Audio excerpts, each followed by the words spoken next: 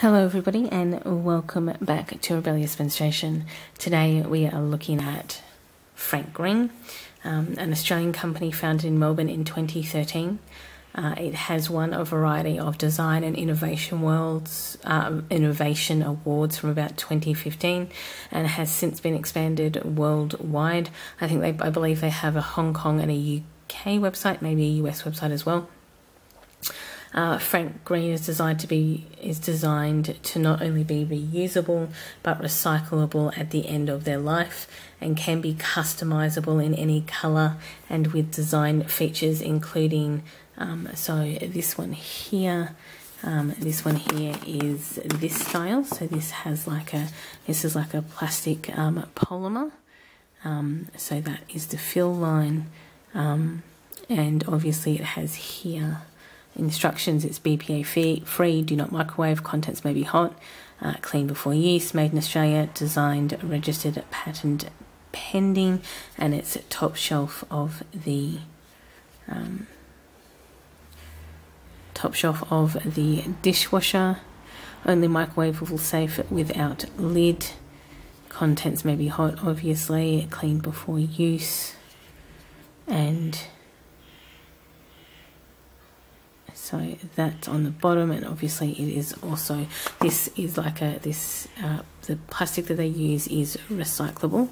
And then they have this type of push button lid and then that's the inner core. Okay so this one here is um, this steel and on the inside this is the a tea strainer. That so this is the tea strainer and then this is ceramic on the inside um, and then this is the and the lid is exactly the same design feature um, as you can see with that on the inside. So that this one here is obviously a bit bigger than this one here in spite of them being the same size on the outside.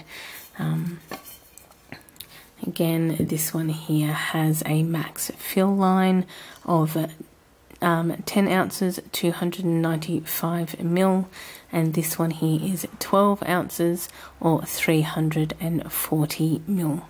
So there is a 45 mil difference between this one and this one, but this one obviously keeps it colder or hotter for longer than this one because this one here has it escape out the bottom.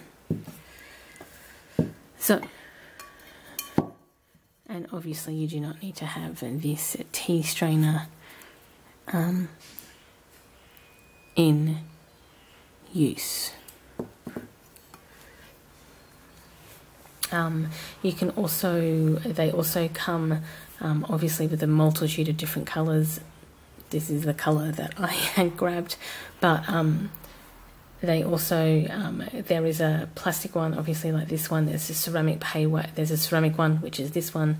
There is a paywave visa preloader.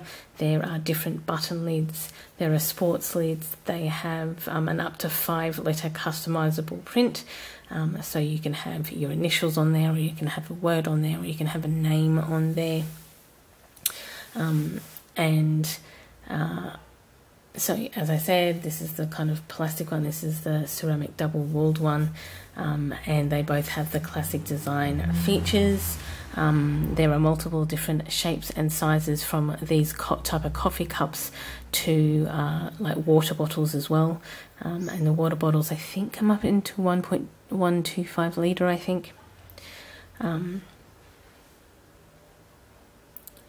So these are actually, as you can tell from the lid design, actually leak proof, um, which is actually my biggest um, thing that I like about this company. And because it, it, was my actual biggest issue with keep cups, you know that I have keep cups like this one here um, is my um, small, I have a small keep cup and a big keep cup um, that I have. Um, this small keep cup, the big keep cup doesn't actually keep in my uh, in a bag. I just have that on usually my desk. So this glass and cork keep a cup, but it actually leaks out the top and it leaks out this bit here.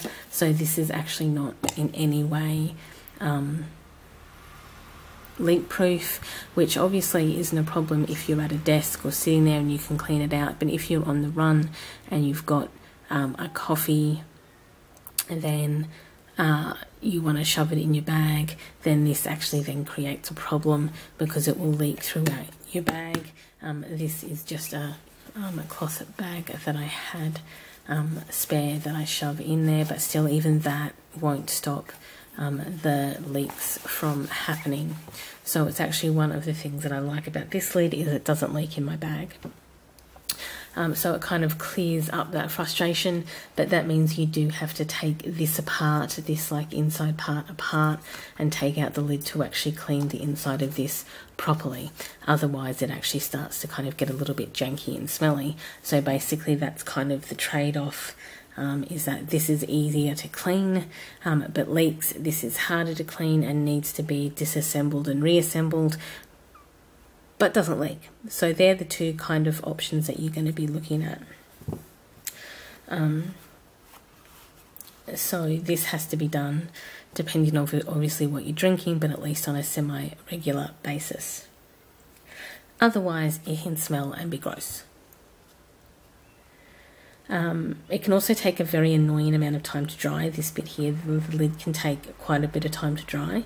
Um, and but you can actually get them in all matching all different colors so you can actually get like this is obviously kind of a coffee cup coffee cup version but you can get them in a smaller size.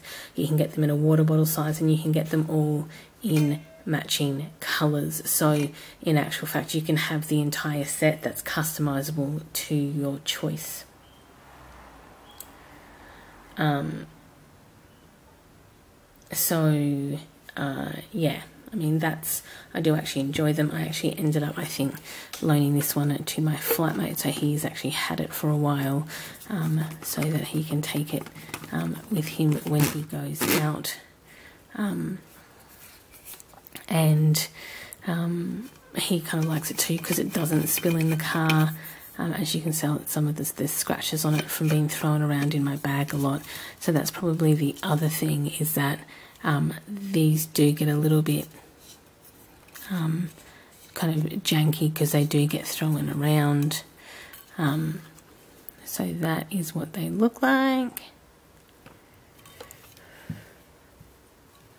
We'll set them there. So basically, I kind of gave this plasticky one to my flatmate, and he can, and he's been um, using it obviously when he goes out.